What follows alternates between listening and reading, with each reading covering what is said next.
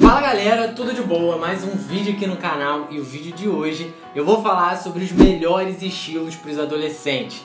E aí eu poderia resumir esse vídeo aqui falando em roupas com bom caimento, porque esse é o maior erro dos adolescentes. Na verdade, esse é o maior erro dos homens em geral na hora de se vestir é o lance do caimento, o corte certo, caimento pro seu tipo de corpo. Então, se você não é mais adolescente, cara, pode ficar aqui nesse vídeo que com certeza vão ter informações aqui que vão ser importantes para você também. Na grande maioria, os adolescentes não têm muita grana para gastar com roupa. Na verdade, nessa idade a gente não tem dinheiro para praticamente nada. O dinheiro que a gente tem às vezes é, sei lá, alguma coisa que sobra, uma mesada que às vezes não é muito boa. Enfim, se você é um desses, não precisa se sentir para baixo, menosprezado, prejudicado. Às vezes eu vejo aqui nos comentários alguns adolescentes falando: "Pô, não tem roupa, dinheiro para comprar tal roupa, tal casaco, tal tênis". Cara, não precisa se sentir mal por isso, porque todo mundo passa por isso. A grande maioria dos adolescentes não tem dinheiro para comprar roupa.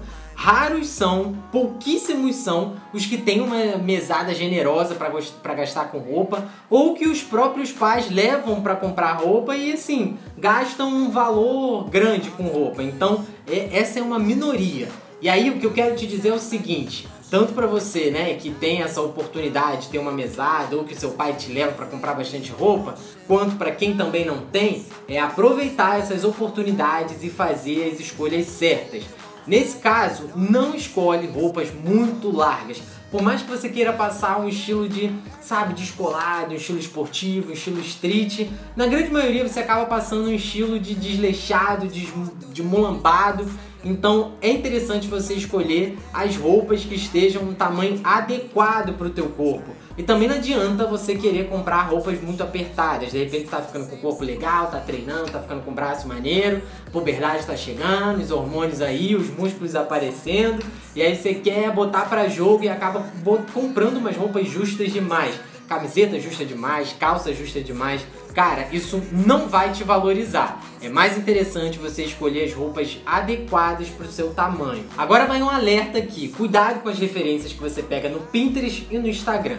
Muitos daqueles looks que estão ali, eles têm ajustes por trás, sabe? Às vezes tem, é, são tipo uns pregadores que prendem às vezes na manga, prende aqui atrás, na calça. Cara, tem muito desses ajustes para poder tirar foto.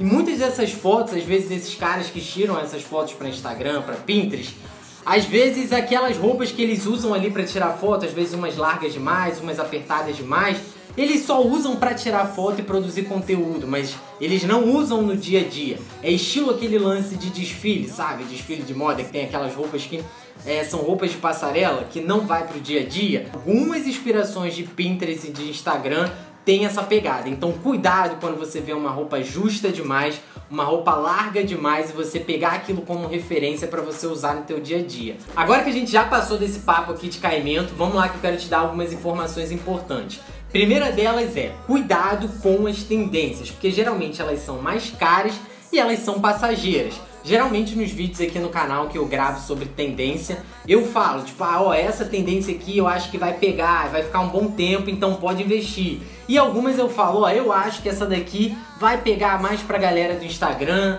e às vezes eu falo, ah, vai pegar pra uma galera, uma parte pequena da, da, da galera, não vai pegar na massa. Então, geralmente, quando eu falo assim, são peças que vão ser passageiras, tendências que vão passar com mais rapidez.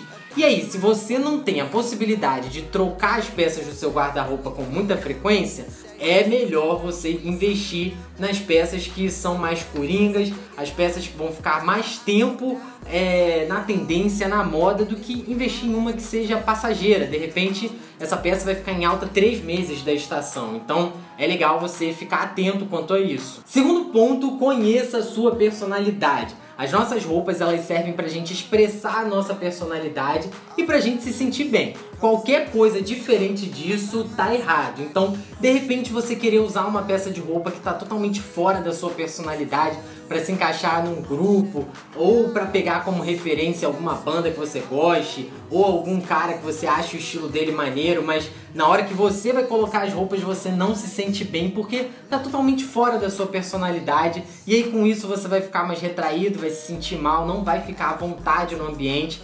E isso não é legal, porque isso vai acabar refletindo na forma que você está se comunicando ali com as pessoas. Você vai ficar mais de canto, você vai querer não chamar tanto atenção, e aí não vale a pena. E assim, um exemplo disso é Cara, de repente você acha legal roupas mais justas e aí você vê várias referências de caras usando umas camisas mais justas, de repente umas camisas de botão abertas ou camiseta é, mais justas. Enfim, e aí na hora que você vai colocar, de repente você tá com a barriga um pouco, sabe, um pouco fora ali de forma, ou sei lá, sobrepeso, e quando você coloca essas roupas, você não se sente à vontade. E aí você fica mais retraído, e aí você quer usar aquela roupa, mas no momento ela não se encaixa com a sua personalidade. Às vezes, por quê? Tem um cara que às vezes está com a barriguinha ali um pouco maior, tá acima do peso, mas o cara não tá ligando. E aí faz parte da personalidade dele ser um cara mais tranquilão. E aí tá tudo certo. Mas se isso não faz parte da sua personalidade, vai te deixar retraído, não é interessante você usar essas roupas, então por isso é importante você conhecer a sua personalidade, você conhecer o seu corpo, as roupas que te fazem se sentir bem para você na hora de você investir. Então, vá lá, vai com calma, respeita a sua personalidade, respeita o seu bolso ou até mesmo o bolso dos seus pais, se são eles que compram as suas roupas. Terceiro ponto, que é um dos mais importantes, isso independente de qual seja a sua idade, Primeiro, monta o seu guarda-roupa base. Como o próprio nome já diz, é a base do seu guarda-roupa, onde você vai ter as peças principais, as peças coringas, e que elas são praticamente as mesmas para todos os estilos. Tem um vídeo aqui no canal em que eu monto esse guarda-roupa base junto com vocês. Eu vou deixar o link aqui no primeiro comentário fixado vai lá dar uma olhada porque é extremamente importante você ter essa base para depois você investir em algumas outras peças para deixar o seu look mais estiloso. Quarto ponto, ver algumas peças em algumas pessoas você achar muito maneiro, mas quando você coloca, você não se sente bem, você acha que em você não ficou legal, mas que nos outros ficam maneiro.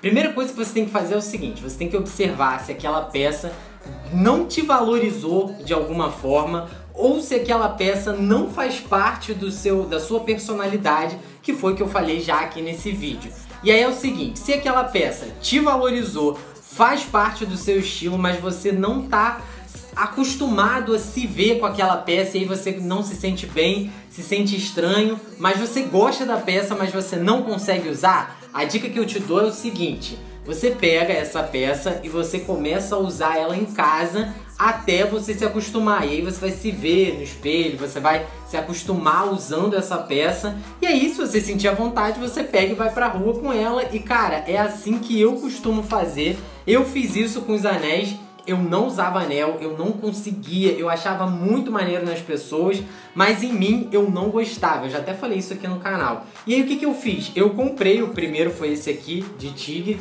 eu comprei ele e comecei a usar em casa, comecei a usar em casa, comecei a usar, usar, usar, até que uma hora eu me acostumei e falei, cara, tá muito maneiro. E aí eu comecei a ir pra rua, não em lugares é, de repente muito importante, que eu ia encontrar muita gente. Não, sabe, no dia a dia, às vezes um lugar que eu não ia encontrar ninguém, e aí eu comecei a usar e pronto, me acostumei. Hoje em dia eu uso de boa, pra mim é super natural. Às vezes quando eu vou sair de casa e eu tô sem anel, eu fico até achando estranho.